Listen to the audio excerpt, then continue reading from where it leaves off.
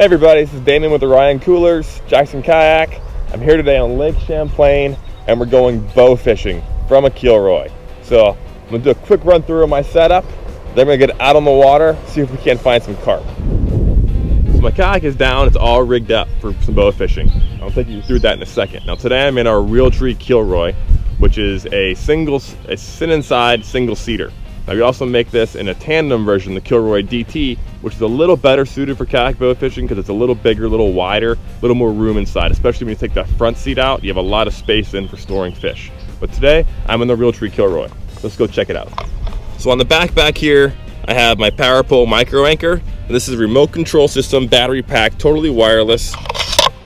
And then with that spike system on a remote of my, my PFD, whenever I see a fish I want to shoot, I can just stop myself and be able to work that fish, take the wind out of the equation. Now here you can see on my life jacket where I have the remote control. Now, off one arm in the back I have, or off one of the track systems, I have an, a GoPro arm system so I can get some cool footage. Here's my PFD. I have a lot of room in the back for storing fish. Now you'll see I've taken the seat out. And what that does is it lets me put an Orion 25 in its place. Here I have my Bucks Blizzard stool mounted on the side of the Orion. And I just use the Orion as my seat and kind of as dry storage. So what's nice thing about taking the seat out when you're bow fishing is that cleaning off that plastic cooler is a lot easier than cleaning off a fabric seat cover. So the Orion 25 lets me, lets me sit a little bit higher. I'm standing and shooting anyway, so I just use this kind of as a, as a dry box. It's easy to clean when I'm done. Now down here in front, you'll see I have a few things rigged. Now I have an extra arrow that's stored here in the standard Kilroy rod tube. And then I have a Goal Zero battery pack that's connected to a Ram spotlight. Now obviously it's a bright sunny day. I don't need this today. I'm just rigging this to show you if you are night fishing, you have a great option for being able to self-light where you want to go kayak bowfish. So have my water bottle. And then this is a very cool system that I use for rigging my bow at the ready while I'm kayaking. And that is a ram system ram parts connected to a YakAttack dog bone. And this is a ram claw that is holding my Bear Superman. So with this system I can easily just grab my bow.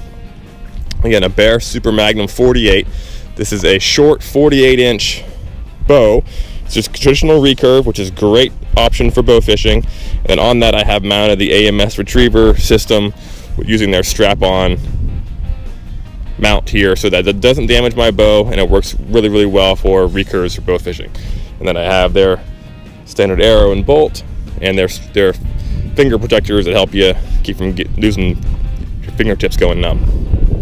So with this claw, I can just prop it, kink it, and it's held right there at the ready whenever I see a fish. So again, that is the Realtree Kilroy rigged up for some kayak bow fishing.